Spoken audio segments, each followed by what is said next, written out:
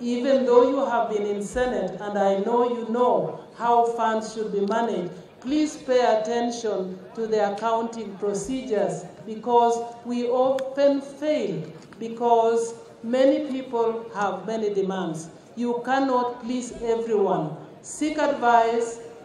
By all means, listen to everybody, but in the end, take a cold decision which will, in the end, show us what you have done.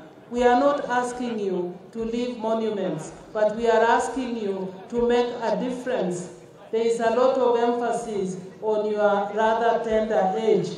I dare say that should give you a lot of energy to think beyond the usual working hours and see to it that when the five years come to a close, we can say, yes, there was a governor here who made a difference in this county. It's not normal for me to attend these kinds of things or indeed to speak, but I'm really very pleased that it is you. But may I repeat that listen, put on what we normally call your listening ears. Listen to the people who are there. Listen to all of us who may have some experience here and there because they told us you are 34, but I know you have a lot of experience.